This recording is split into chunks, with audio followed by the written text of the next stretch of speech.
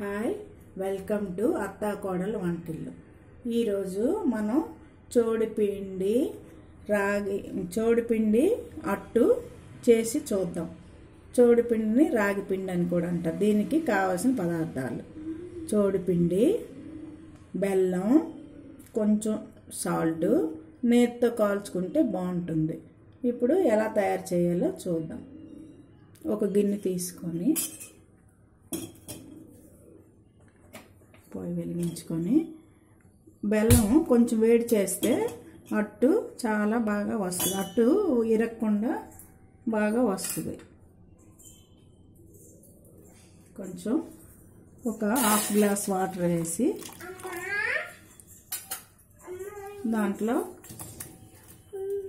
బెల్లం వేయాలి. కావలసినంత బెల్లం వేసి కొంచెం ఈ బెల్లం కరిగే వరకు వేడి చేసుకోవాలి. బెల్లం కరిగే వరకు వేడి చేసుకొని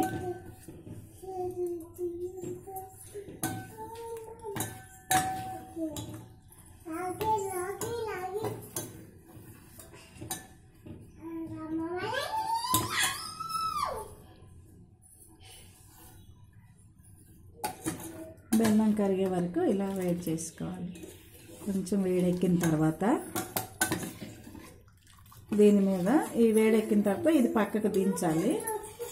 గిన్నె దించిన తర్వాత పొయ్యి మీద ఈ అట్లు రెక్క ఇది వేడెక్కుతుంది ఈలోపు మనం చోడుపిండి అంటే రాగి పిండి కదా? రాగి పిండి కలుపుదాం. కొంతమంది చోడుపిండి అంటారు కొంతమంది రాగి పిండి అంటారు. ఇది హెల్త్కి చాలా మంచిది. దీనిలో టేస్ట్కి బెల్లంలో కొంచెం ఉప్పు ఉంటుంది. అందుకోసం టేస్ట్కి మనం కొంచెం ఉప్పు వేసుకుంటే సరిపోతుంది. మనకి ఎంత ఎన్ని అట్లు కావాలి ఎంత అనేది చూసుకొని ఆ వాటర్ తగ్గట్టు పిండిని ఇలా వేసి కలుపుకోవాలి.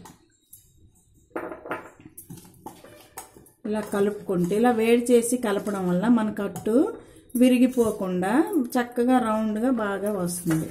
ఇలా చూసుకొని చాలకపోతే మళ్ళీ మనం కొంచెం వాటర్ వేసుకోవచ్చు. ఇలా కలపాలి. ఈ రాగి పిండిలో చాలా విటమిన్స్ ఉన్నాయి. అన్ని మనకి కాల్షియం ఎక్కువ అధికంగా ఉండే దా అన్నిట్లోనూ రాగిపిండి ఒకటి. రాగి పిండిలో ఎక్కువ కాల్షియం ఉంటుంది. ఇది చిరుధాన్యాలు కదా పొట్టుతో ఉంటుంది కాబట్టి మనకి మంచి మాంసకృతులు ఈ పీచు పదార్థము అన్నీ ఉంటాయి. ఇప్పుడు అందరూ రైస్ కాకుండా చిరుధాన్యాలు కూడా తినండి అని చెప్తున్నారు కాబట్టి ఇది ఈవినింగ్ కూడా కొంచెం పెద్ద వయసు ఉన్న వాళ్ళు వాళ్ళు ఈవినింగ్ అయినా ఇలా దోశల్లాగా అట్లా పోసుకొని ఉప్పు వేసుకొని అట్లా పోసుకున్నా బాగానే ఉంటుంది. కొంచెం వాటర్ వేస్తున్నాను మనకి అట్టు వచ్చేటట్టు. వేసి దోశ పిండిలకు కూడా మనం షుగర్ ఉన్న వాళ్ళు స్వీట్ తినం అనుకున్నప్పుడు సాల్ట్ వేసుకొని జీలకర్ర కొంచెం వేసుకొని అట్లా కూడా పోసుకోవచ్చు. టిఫిన్ కింద చేసుకోవచ్చు. ఈ అట్టు తినడం వల్ల చాలా మంచిది. ఇది ఇప్పుడు ప్రత్యేకంగా చూపించడానికి కారణం మనకి దీపావళి త్వరలో వస్తుంది కదా. దీపావళి వచ్చేటప్పుడు సోడిపిండి అట్టు తినాలి అంటారు. తినకపోతే గాడిద కడుపులో కొడతారు అంటారు. ఎందుకంటే అలాగంటే అందరూ భయపడతారనో ఏటో అది పెద్దలు నానుడి. పెద్దవాళ్ళు చెప్పేవారు. మా అమ్మమ్మ అందరూ మాకు అప్పుడు చెప్పారు. దేనికంటే సైంటిఫిక్గా కూడా దీనికి ఒక రీజన్ ఉంది. అది ఏంటంటే మనం దీపావళి రోజు దీపావళి మందుగుండు సామాన్లన్నీ కాలుస్తాం. అదంతా మన గొంతులోకి మనకి వెళ్తుంది. అదంతా క్లీన్ అవ్వడానికి దాన్ని చెడు నుండి పాల పాల ద్రోవడానికి కోసం మనకి ఈ చోడుపిండి చాలా ఉపయోగపడుతుంది. అందుకే ఆ విధంగానైనా విటమిన్స్ కాబట్టి తింటామని అలాగా పెద్దలు అనడం వల్ల కంపల్సరిగా సో దీపావళి రోజు రాత్రి చోడుపిండి మేమైతే దీపావళి రోజు రాత్రి చోడుపిండి అట్టు పోసి దేవుడి దగ్గర కూడా పెడతాము. దీపావళి అయిపోయిన తర్వాత మందుగుండు సామాన్లన్నీ అయిన తర్వాత అప్పుడు అందరం ఒక్కొక్క అట్టు తింటాం. దానివల్ల ముందు మీకు చూపిస్తున్నాను. దీపావళి వస్తుంది కాబట్టి మీకు ఇంట్రెస్ట్ ఉంటే చేసి చూడండి. మామూలుగా కూడా ఇది ఎప్పుడు పడితే అప్పుడు మనం వేసుకొని చేసుకోవచ్చు. చాలా టేస్ట్గా ఉంటుంది. మనకు రేకు వేడెక్కింది. ఇప్పుడు రాగి అట్టు మొదటట్టు కొంచెం ఇదిగా ఉంటుంది. చూద్దాం ఎలా వస్తుందో. బాగానే వచ్చింది. ఇది నెయ్యితో కాల్చుకుంటే టేస్ట్గా ఉంటుంది. అది మన ఇష్టం. నెయ్యి కావాలన్నా నెయ్యితో కాల్చుకోవచ్చు. ఆయిల్తో కావాలన్నా ఆయిల్తో కాల్చుకోవచ్చు. ఎవరికి ఏది ఇష్టమైతే దాంతో కాల్చుకోవచ్చు. కొంచెం బాగా టేస్ట్గా ఉండాలంటే కొంచెం నెయ్యి వేసుకుంటే టేస్ట్ బాగుంటుంది. ఆయిల్తో కూడా బాగానే ఉంటుంది. నెయ్యి కొంతమందికి నచ్చదు. అప్పుడు ఆయిల్తో కాల్చుకోవచ్చు.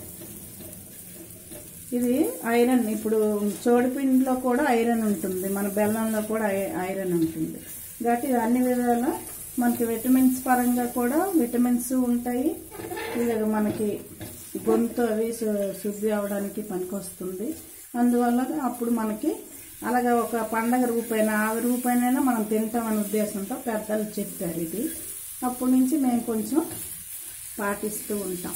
ఎప్పుడు చే మామూలుగా నెలకు ఒకసారి ఇలాగ చేస్తుంటాను కానీ దీపావళి రోజు కంపల్సరిగా చేస్తూ ఉంటాను. కొంచెం బెల్లం ఎక్కువైనా అట్టు కిందని అలాగ అవుతూ ఉంటుంది. ఫస్ట్ అట్టు అలాగే ఉంటుంది.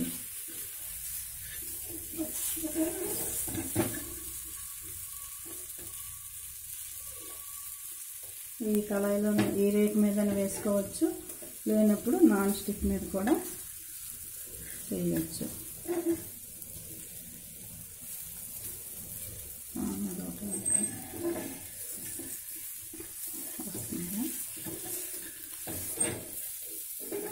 దీనికి కావాల్సిన పదార్థాలు కూడా ఎక్కువ లేవు కదా. చోడిపిండి బెల్లం సాల్ట్ అంతే. ఎక్కువ లేవు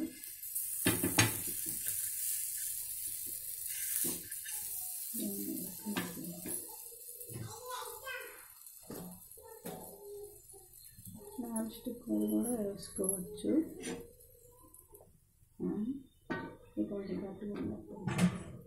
నాన్ స్టిక్ మీద ఒకటి వేసి చూద్దాం.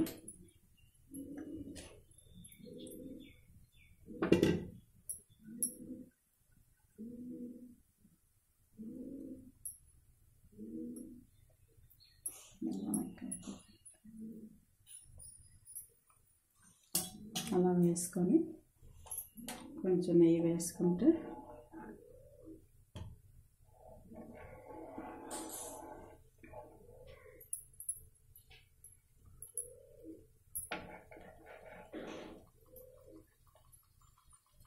చాలా బాగుంటుంది. టేస్ట్ బాగుంటుంది. హెల్త్కి హెల్త్. మామూలుగా కూడా మనం అప్పుడప్పుడు సాల్ట్ కొంచెం జీలకర్ర వేసుకొని మామూలుగా అట్లా కూడా చేసుకోవచ్చు. స్వీటే తినడం ఇష్టం లేదని వాళ్ళకి. ఇష్టం ఉన్న వాళ్ళు బెల్లం వేసుకొని ఇలా చేసుకోవాలి.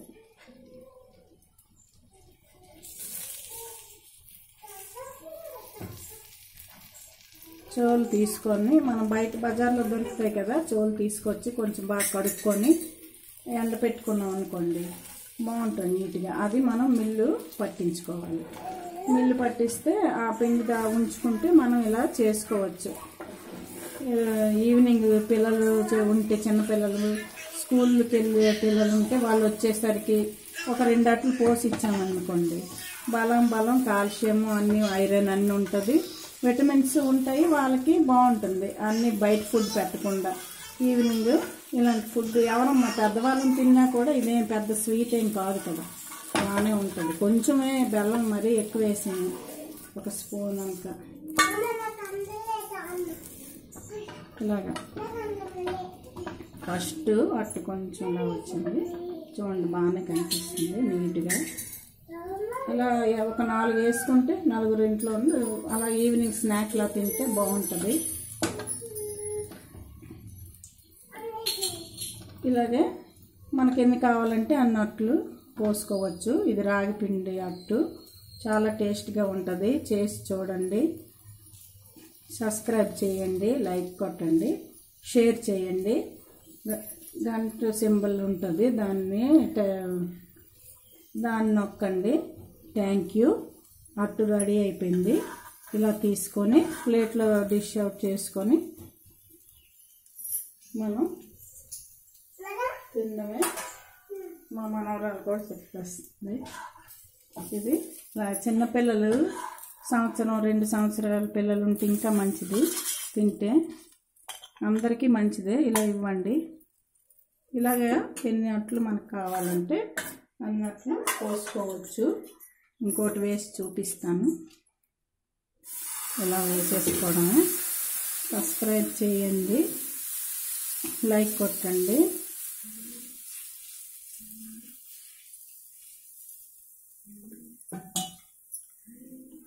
Okay thank you